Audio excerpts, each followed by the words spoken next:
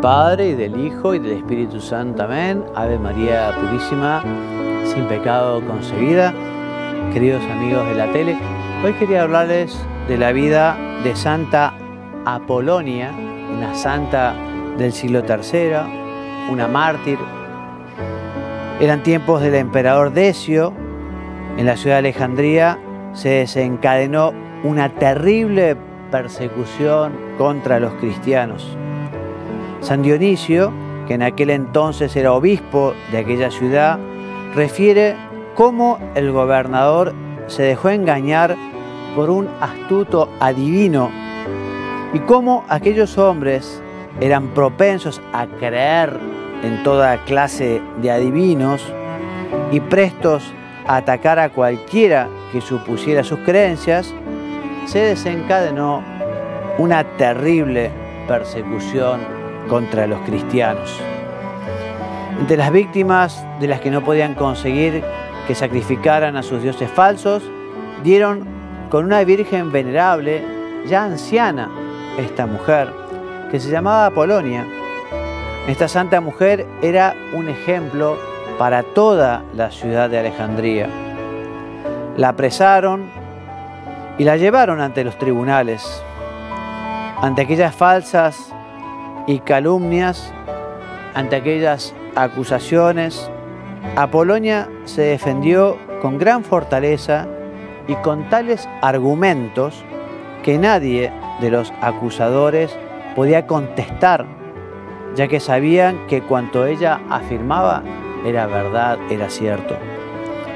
Por toda respuesta, uno de los presentes tomó un hierro muy grande y le dio un fuerte golpe en la boca, rompiéndole bárbaramente los dientes.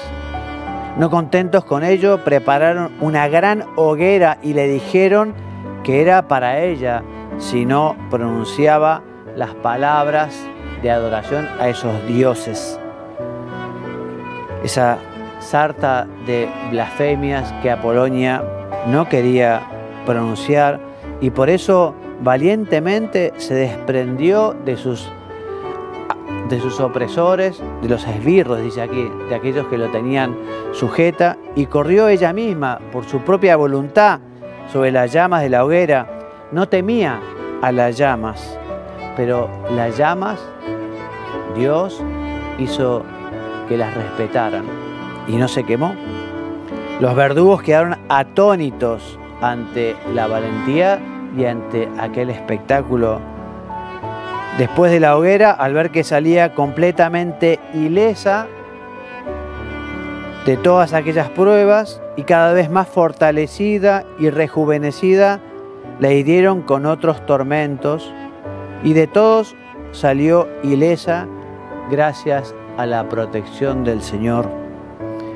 Un ejemplo, esta santa, y ese ejemplo suyo sirvió para ayudar a muchos cristianos en la vivencia de su fe y fueron muchos los que la siguieron hasta derramar su sangre generosamente por Jesucristo. Al final, a esta buena mujer la degollaron y así partió al cielo después de haber dado este testimonio de valentía, de generosidad. A veces puede faltarnos un poquito de valentía y recordemos a estos santos. A nosotros no nos va a tocar el martirio, gracias a Dios, pero no tengamos miedo de decir las cosas como son, con caridad, pero siempre con gran amor a la verdad y nunca con la mentira. La mentira no puede estar en nuestros labios porque el padre de la mentira es el demonio.